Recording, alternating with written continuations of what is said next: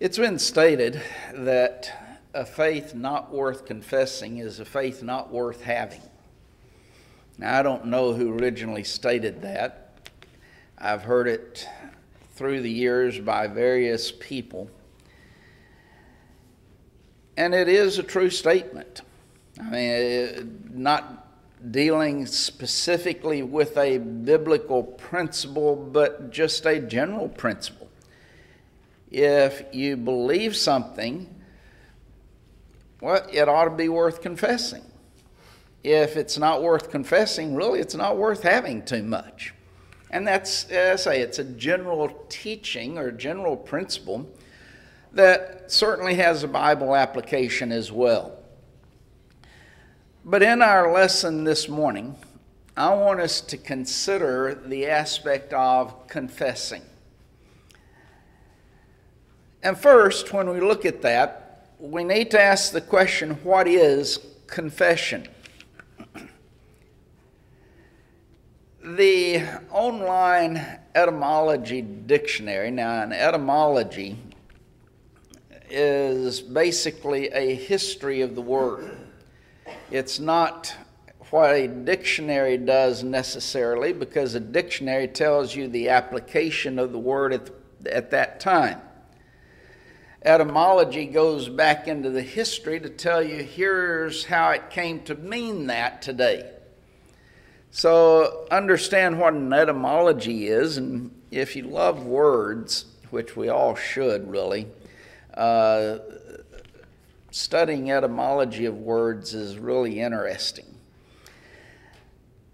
But in the online etymology dictionary, it states concerning the word confession that it is a late 14th century transitive and intransitive make a vow or admission of, and then in parentheses, a fault, crime, sin, debt, etc. From the Old French, confesser, which is transitive and intransitive, and from the Vulgar Latin, confessare. Uh, by the way, vulgar simply means common. So if you see that word vulgar, the actual meaning of it is dealing with common, uh, which presents sometimes a good lesson as to vulgarity today. Might be a good study for you. But the vulgar Latin confessare, a frequentive form from Latin confess past participle stem of confiteri, to acknowledge, from assimilated form of com, together, see con, with fateri, to admit, akin to fari, speak, from the PIE root, ba, to speak, to tell, or to say. And when you look at that, it's basically stating, if you look at the pretty much the first part of it, to make a vow or admission of whether you're dealing with a fault, a crime, a sin, debt, whatever it might be. When we go back to the biblical word, though, it comes from a Greek word, homologeo. And that Greek word is made up of two parts. The first part of it is homu, which means same or one and the same. And then you have the Greek word lego, which means to speak. Thus, the word confess, as translated from the Greek word, means to speak one and the same. In its application from a biblical standpoint, it is to speak one and the same thing that God said. So you have God saying something, and To confess, thus, is to speak one and the same thing that God said. And so that brings us to the question what did the Father say? What did God say? and I want to approach it from two standpoints because both aspects need to be discussed in dealing with the subject of confession. What did God say regarding sin? First off, well, Paul sums it up very succinctly in Romans 3 and verse 23 when he says, For all have sinned and come short of the glory of God. That's what God has said concerning sin, that all men have sinned. In Galatians, the third chapter, in verse 22, Paul again sums it up when he says, But the Scripture hath concluded all under sin that the promise by faith of Christ Jesus might be given to them that believe. Now, then, when you look at the Scripture hath concluded, since the Scriptures come from the very breath of God Himself, we could say that God hath concluded, because all Scripture is given by inspiration of God. 2 Timothy 3 and verse 16 if all scriptures have been given by inspiration of God and the scriptures conclude that all are under sin, then it stands to reason that God has concluded all under sin. Now, that's what God has stated in relationship to sin. We'll come back and look at these more, but right now we're trying to limit ourselves to what did God say? There's a second aspect, and that is what did God say regarding Jesus? When Jesus went to John the Baptist to be baptized of him, we know that initially John did not want to. He wanted to turn around and says, I need to be baptized of you, but Jesus tells him to allow it to be so at this time to fulfill all righteousness. He did not commit sin, and so it was not for sin, even though John's baptism was for the remission of sins. But since Jesus did not commit sin, had no sin, his was to fulfill all righteousness. That is, God had commanded baptism through John the Baptist. And Jesus was obeying that command of God. He was doing what God says and thus fulfilling all righteousness. But in Matthew's account, Matthew 3 and verse 16 and 17, when he was baptized, he went up straightway out of the water. And lo, the heavens were opened unto him, and he saw the Spirit of, the, of God descending like a dove and lighting upon him. And lo, a voice from heaven saying, This is my beloved Son, in whom I am well pleased. And thus, God's statement, the Father's statement concerning Jesus of Nazareth, is, This is my Son. I'm well pleased with my Son. He is my beloved Son, he says. Later on in the ministry of Jesus, Jesus takes Peter, James, and John. He takes them up to a high mountain. He's transfigured before them. Matthew, the 17th chapter. There appears before him Moses and Elijah speaking with him. And Peter, awakening out of sleep, makes the decision to say, Lord, it's good for us to be here. If thou wilt, let us build here three tabernacles one for thee, one for Moses, one for Elijah. And Matthew 17 and verse 5, it says, While he yet spake, behold, a bright cloud overshadowed them, and behold, a voice out of the cloud which said, This is my beloved Son, in whom I am well pleased. Hear ye him. Now, not to deal so much with the implications of hear ye him, as opposed to hearing Moses and Elijah, but yet the voice out of God in relationship to Jesus of Nazareth again states, This is my son. And again, I'm well pleased with him. Now, we could again go to and look at the implications of I am well pleased. Why? Because he was always doing the will of the Father, he was always obedient, he had never committed sin. But here's the Father saying concerning Jesus, This is my Son, my beloved Son, in whom I am well pleased, and now hear ye him. That's what God the Father has said concerning Jesus of Nazareth and concerning man. Man, on the other hand, we have the obligation of confessing. That is, we say one and the same thing as God.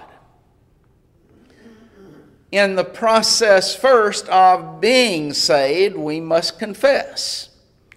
That's what Romans uh, 10 and verses 9 and verse 10 states that if thou shalt confess with the mouth the Lord Jesus and shalt believe in thine heart that God hath raised him from the dead, thou shalt be saved. For with the heart man believeth unto righteousness, and with the mouth confession is made unto salvation can't help but uh, just pause here in relationship to this verse that many individuals want to look at this verse and say that completes the salvation process at right at that point. They would have it read that with the heart man believeth and is saved or is righteous, and with the mouth confession is made and he is saved.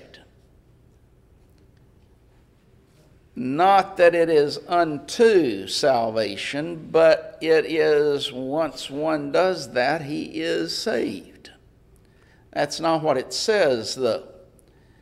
This is a preposition unto that is looking forward to something. It is still yet in the future. The belief, the confession, is not what gives us salvation. It's necessary for us to receive it, but the salvation is still yet in the future. That's why he uses the preposition unto, and that's properly translated. But we see in this verse that one of those necessary things in that salvation process is the act of confession. And so, in that process of being saved, we must confess. Now, then, again, confession is saying the same thing that God said concerning Jesus. What was it that God said concerning Jesus? This is my Son, my beloved Son, in whom I am well pleased.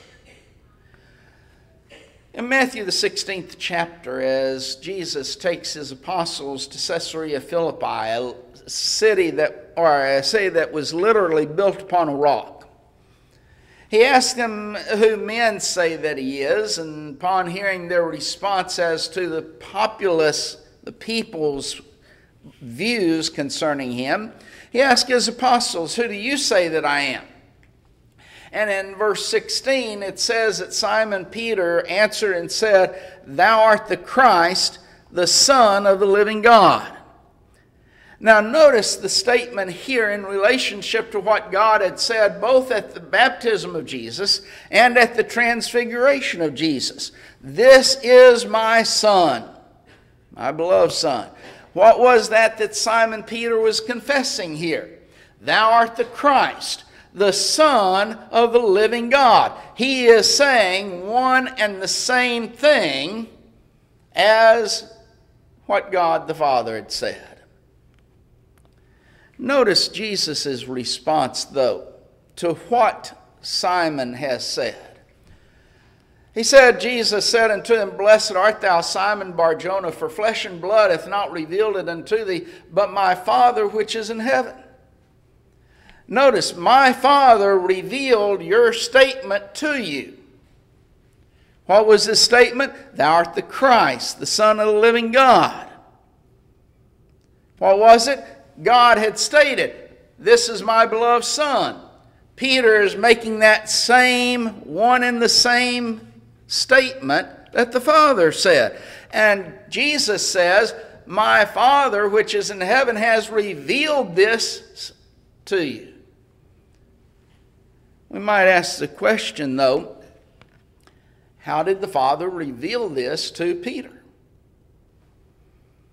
Well, first, which we've already seen at the baptism of Jesus, he had revealed this to Peter at that time. But also, John the Baptist revealed it. When in John 1 and verse 29 it says, The next day John seeth Jesus coming to him and said, Behold the Lamb of God, which taketh away the sin of the world. He is setting forth now that here is the Son of God.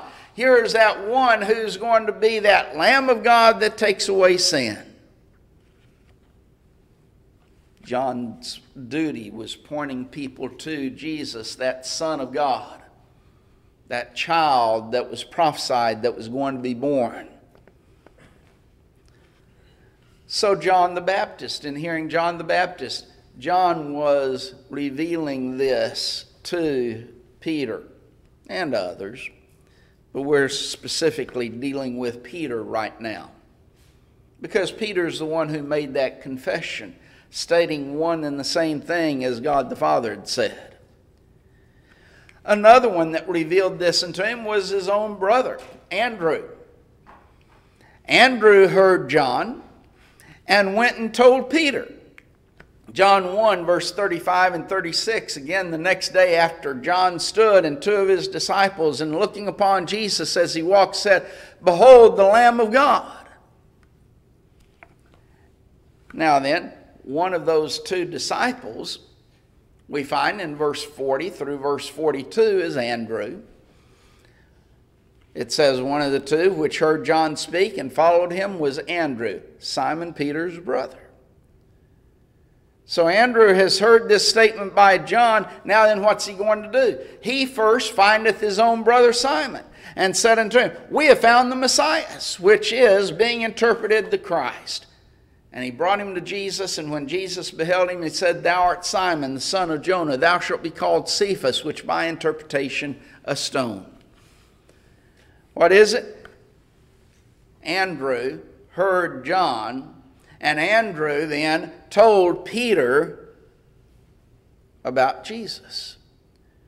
And thus, God was revealing this to, G- to Peter one way was through Andrew, his brother. Another way was by the miracles that he performed. Jesus performed many miracles. We might recall what uh, Nicodemus said that of Jesus that no man can do these miracles that thou doest except God be with him. And so, by the miracles that Jesus was performing, he was proving, he was demonstrating that he was the Son of God. And so he had several avenues of testimony that had been given to him as to Jesus being the Son of God. Now, notice that uh, as I went through these things, I did not mention the transfiguration. You might be wondering, well, why didn't you mention the transfiguration? He was there on that occasion. He heard the Father say that. Transfiguration took place after Peter had made this statement. And so it was not a part of that process that Peter heard and brought to him a knowledge that Jesus was the Son of God. It gave added confirmation to that which he knew, but he made the confession prior to the transfiguration. And so it just gave added confirmation. It did not provide him that information. And so we see that in that salvation process, here's Peter's statement. And Peter made that confession, made that one and the same statement that God the Father had made Thou art the Christ, the Son of the living God. In 1 Timothy, the sixth chapter, in verse 13, as Paul is writing to his son in the faith, he tells him, I give thee charge in the sight of God, who quickeneth all things, and before Christ Jesus, who before Pontius Pilate witnessed a good confession. Paul now makes the statement that here is Jesus Christ. He, when he was before Pontius Pilate, witnessed a good confession. Well, since we're talking about confession, that should pique our interest.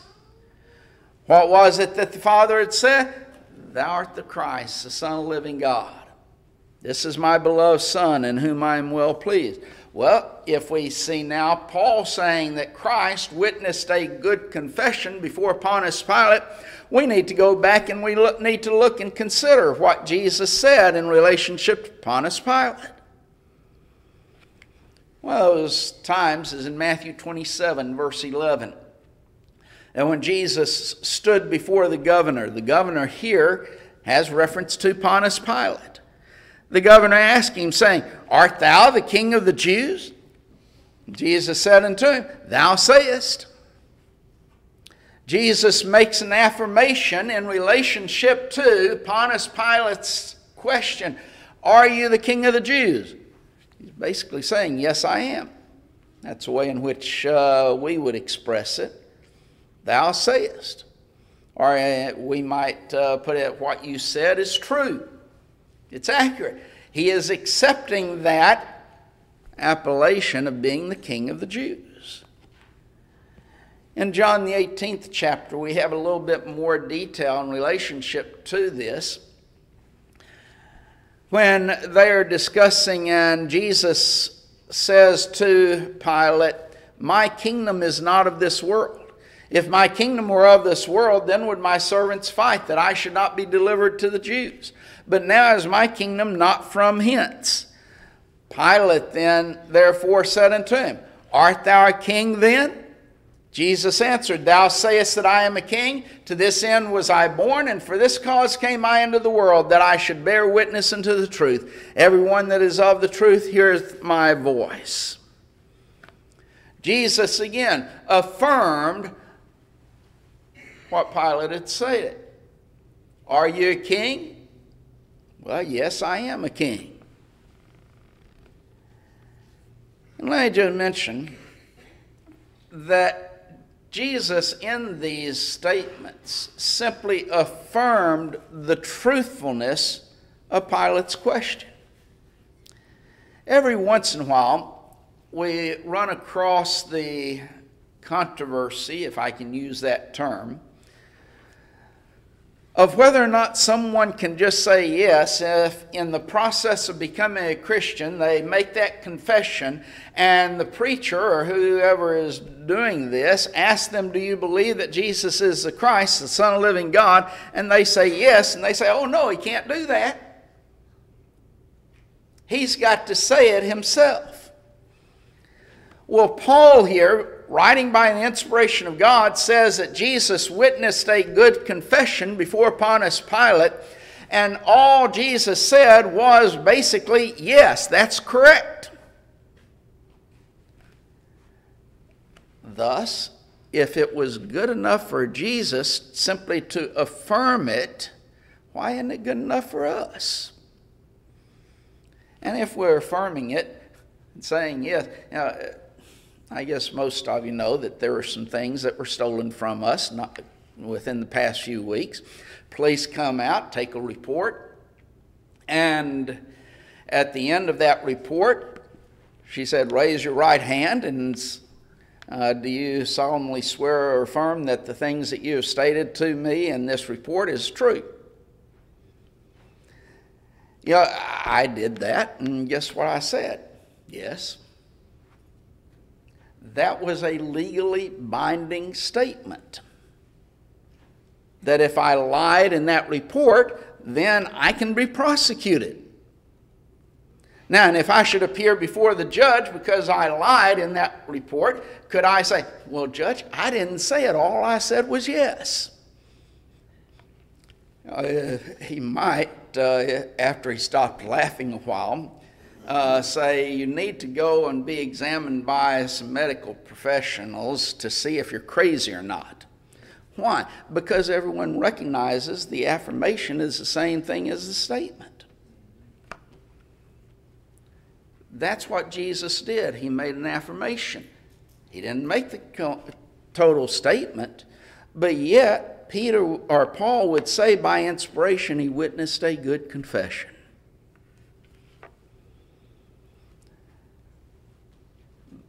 One other example of in that process of being saved, the confession that is made would be in Acts the 8th chapter and verse 37.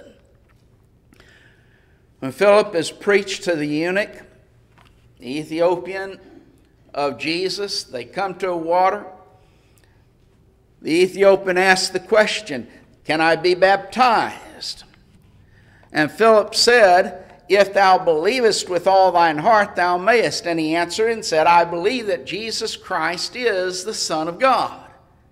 Now, that's the statement that God the Father had made concerning Jesus. It's the confession that Peter made in relationship to Jesus. It is that confession that Jesus made in front of Pontius Pilate. And now, then, here's this Ethiopian making the same confession, and based upon that, he baptized him. And so, in the process of becoming a Christian, we see the need to make a confession. It is a confession of faith, our belief that Jesus Christ is the Son of God. But then there's confession in relationship to sin, and that is as a wayward child of God that that individual must make. And we see the basis of that in 1 John 1 and verse 9. If we confess our sins, he is faithful and just to forgive, to forgive us our sins and to cleanse us from all unrighteousness. Now, first, that demands a realization of sin. What is sin? Well, John describes it in 1 John 3 and verse 4 Whosoever committeth sin transgresseth also the law. For sin is the transgression of law. We generally classify sin under two categories, though that is sins of commission. That is, I commit something that transgresses the law. And thus it is a sin of commission in that I have transgressed the law and thus committed sin. Then there's sins of omission. That is, I have omitted doing something that the law demands. And since I have omitted doing something that the law demands me to do, I have committed sin because I've transgressed the law. There must be a recognition, thus, of I have transgressed God's law. I have committed sin. And thus it is saying, I have sinned. Now, what did God say? The conclusion of the scriptures is all have sinned. Or Romans 3 and verse 23 all have sinned and come short of the glory of God. Confessing is I am saying one and the same thing as God. God said that I have sinned. I am saying I have sinned. But there's a lot of things in relationship to a wayward child of God and making a confession of sin, in this case, that's not true confession of sin. Every once in a while, we come across someone who says and wants to confess sins by saying, If I have offended someone, I'm sorry. What if makes it kind of conditional? Maybe I didn't, maybe I did, I don't really know. It's not saying I have sinned. I have offended someone. Or some will just say, if I've sinned. Well, have you sinned? Which is it? God says you have sinned. Have you sinned? Well, if I have, no. Have you? It's not if, not conditional. It's a statement of, I have sinned. Or every once in a while, we come across someone who wants to tell the wrong of other people and what other people have done, and specifically what other people have done to them. Instead of, I have committed sin, it's they're the ones who are at fault, they're the ones who did this. And then we would also add that in confession of sin, there is no need to announce sin. It's a, simply a confession of sin. I don't have to announce sin. I have sinned, yes. But that doesn't mean that I necessarily have to go into all of the juicy details to satisfy the whims and the evil desires of, it, of everyone. In fact, sometimes it causes way more trouble than what it's good for. Congregations and elderships, preachers learned very quickly you do not allow a person to get up and just say whatever they want to say. Why? Because there's some things that they might say that's going to cause more problems. it is a statement of I have sinned. It's not necessarily announcing sins to, to other individuals. But also saying I have sinned is not enough without the proper action.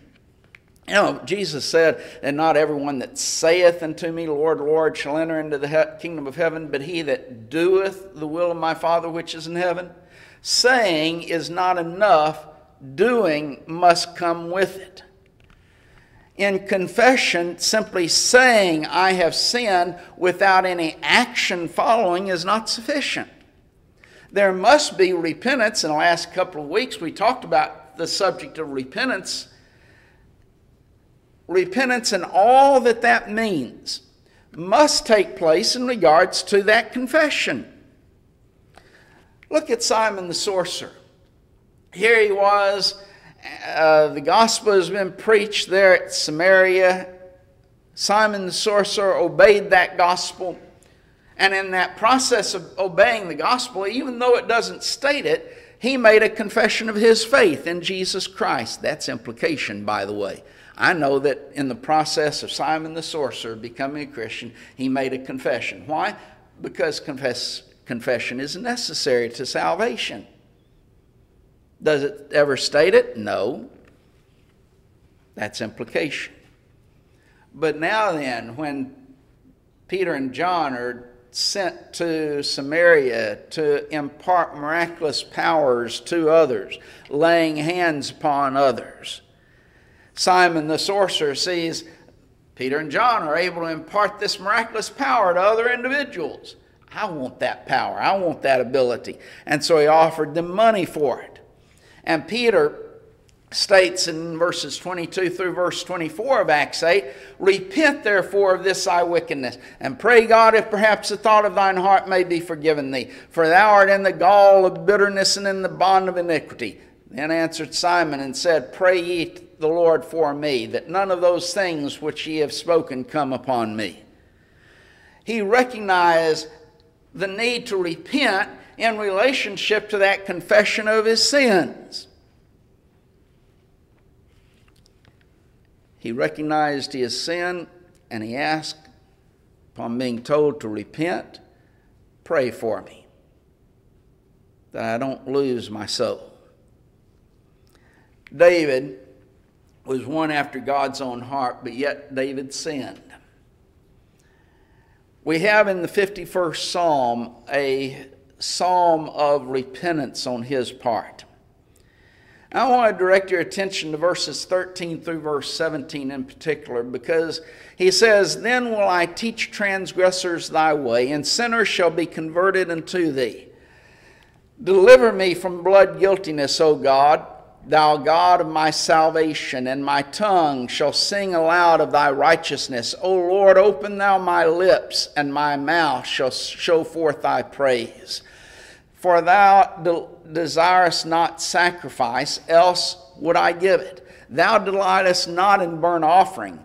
The sacrifices of God are a broken spirit, a broken and a contrite heart, O God, wilt thou not despise. You see David's cry for forgiveness. Why? Because he had committed sin. But now then, notice the results. What goes along with that repentance? Go back to verse 13. He says, basically, I will teach others. There's the aspect of forgiveness. I will then teach others. In verse 14, he says, I will sing of God's forgiveness. And again in verse 15, he says, I will show forth my praise, thy praise. So he's going to praise God.